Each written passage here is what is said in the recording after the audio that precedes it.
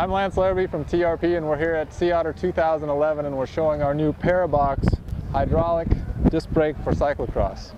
The, uh, the Parabox allows you to use uh, STI levers from Shimano, SRAM, or Campagnolo and route them into a hydraulic disc brake actuator that uh, exits hydraulic lines. It weighs about 450 grams and uh, we think with the new UCI ruling for, uh, for disc brakes, this will be a really popular item for 2011. Also new for 2011 are our RRL SR single speed road levers. These work with uh, cantilever brakes or with road calipers. They, uh, they're drilled out for a neo-retro look and they have a really unique feature in, with this uh, spring-loaded quick release.